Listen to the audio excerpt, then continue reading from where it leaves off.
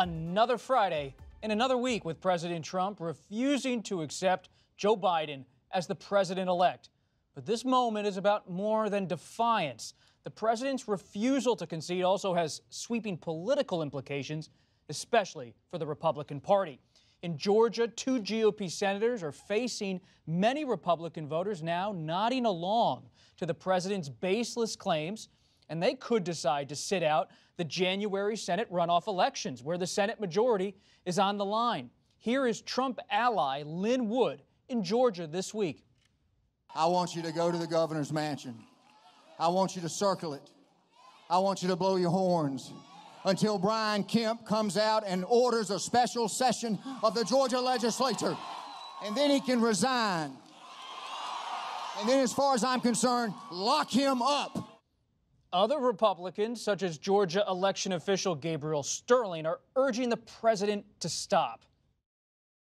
It has to stop. Mr. President, you have not condemned these actions or this language. Senators, you have not condemned this language or these actions. This is elections. This is the backbone of democracy, and all of you who have not said a damn word are complicit in this.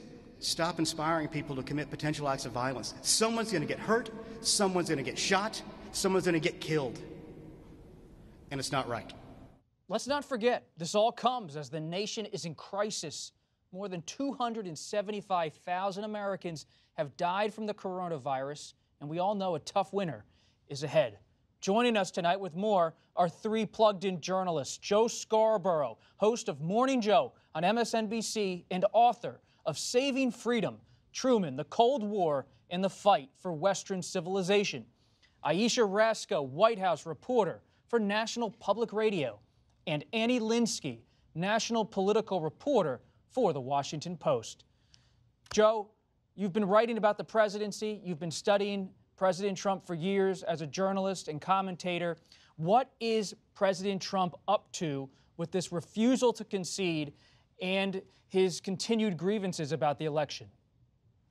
Well, I don't think any of us are surprised that the President of the United States uh, has, has not conceded this race. If, if you had asked most reporters beforehand if he would claim that the race were rigged if he lost, they'd say he was. Because let's face it, he's made this claim uh, over the past six months, has, has been setting us all up for this moment. And so he's going to leave the White House without ever conceding to Joe Biden. And he's raised over $200 million uh, scamming uh, his followers uh, into believing that the election's been rigged when one local Republican official after another local Republican official who's actually counted the votes say there's no there there. And yet he continues on. on. Maybe it's for a 2024 race. I think it's more likely that he's doing it just to raise money.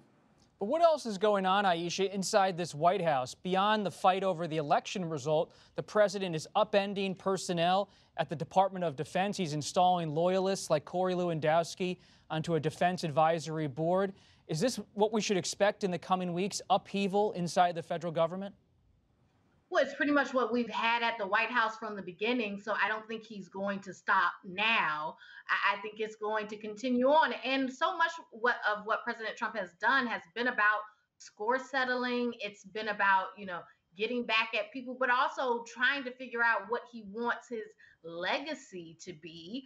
Uh, you know, when it comes to defense, you know, he's always talked about how he wanted to pull all the troops out of the Middle East. He wants to be the president to do that, and he's faced pushback within the Defense Department uh, and has been hindered in that. And it seems like at the end, uh, he's trying to make moves in that direction uh, over the objections of you know other people in the the defense department but i think that this has just been par for the course. I also think that at this point a lot of this is about managing President Trump's feelings, his emotions. Uh, the release of that 46 minute uh, video that they put on Facebook, I thought that it was very interesting that they put it on Facebook. They could have done, you know, a quick scramble. Look, the president's going to speak. They would have probably been carried live by most of the cable networks if he had spoken live, but they didn't do that.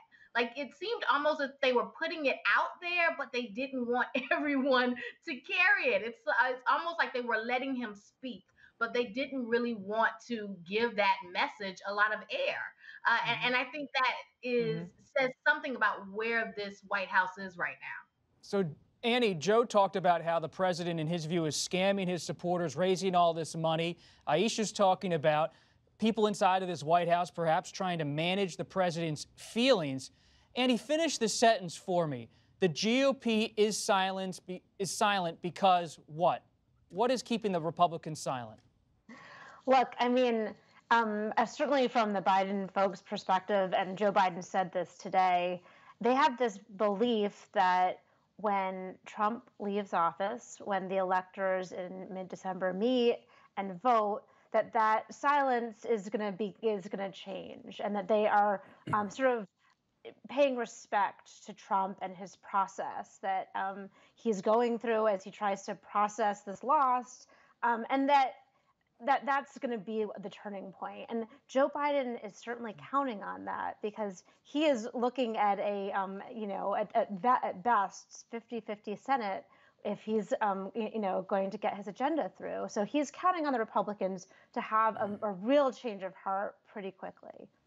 Quiet until December. It sounds like a holiday song. Joe, Let's talk about Attorney General William Barr. Some Republicans are being quiet, but in an interview with the AP this week, Barr said the DOJ has, quote, not seen fraud on a scale that could have affected a different outcome in the election. My sources tell me that Barr is now on thin ice for simply stating the facts. Is he gone before January? I, I, I can't tell you what Donald Trump is going to do when it comes to the Attorney General, but this is just more of the same. I think of all the people that you and I have known since we began covering Donald Trump in June of 2015 uh, that pledged their loyalty to Donald Trump, that, that sacrificed their values, uh, that bent over backwards to be as obsequious to him as possible, and it was never enough. With William Barr, you actually did have the man uh, who answered the call when Donald Trump asked several years ago, Where's my Roy Cohn? That's exactly what William Barr wanted to be. Uh, and he's followed that through a certain point. Obviously, he framed the Mueller investigation report uh, in the most favorable way possible to the president. He bought him, you know, several months uh, moving moving towards uh, impeachment.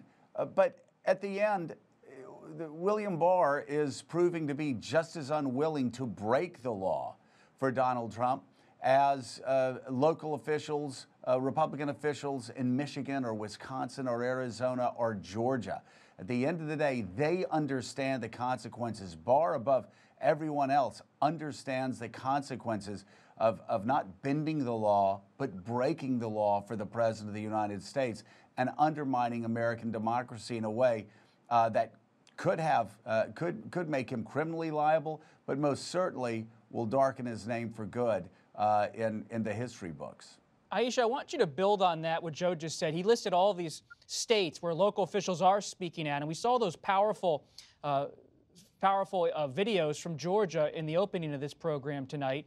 Uh, Gabriel Sterling outraged a Republican about the president's handling. Are we seeing a divide out there in the states? Local and state officials are willing to speak up, but national Republicans, to Annie's point, just see a, a, they're calculating that it's best to just sit on their hands until December.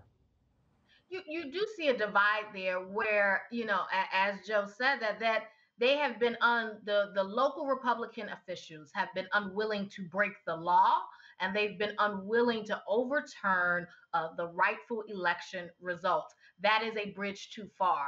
Uh, I, I think, but you do see uh, so many national Republicans, and you see the base calling for more action. And, and, so it almost seems as if they're out of step with their own party. The people that are holding this line and saying, no, we're going to respect the election results are out of step with the rest of the Republican Party and out of step uh, with the leader of the Republican Party, uh, President Trump. Ayesha, what does that mean, though, in Georgia, where they have a runoff election for two Senate seats on January 5th? And that is the big question right now. And I think if I was a Republican, I would be very concerned because you have people like Lin Wood and like Sidney Powell saying you need to hold these Republicans accountable and saying that don't vote unless they meet these kind of outrageous claims. And President Trump himself saying, well, if you want to ensure that voters come out, you need to make sure that I win the state of Georgia when that's that's a done deal. Uh, and so it's and, and I thought it was very interesting when you heard Governor Kemp uh, speaking, I believe, on Fox News, saying that he's trying to support the president within the law. I, am trying to do everything I can, but he's kind of saying, but I have to follow the law. And what you're hearing from Lin Wood and others is that's not enough. And so mm-hmm. I, I, don't know if it will go that far. If these elections are close and you have dampened turnout from Republicans, sure. I, I, you know, that is a serious concern. Well, Annie, what about the view in Biden world? You cover that so closely. Is he going to head down there to Atlanta to try to get that Stacey Abrams coalition back together again? Yeah, you know, Biden was asked that question today um, in Wilmington at his press conference. It was sort of the very last question. Um, somebody sort of yelled it as he was walking off the stage, and you could hear him through his mask saying, yes, he is going to go to Georgia, but he didn't answer the follow up about whether this will be before or after Christmas. Of course, the president is going down there this weekend.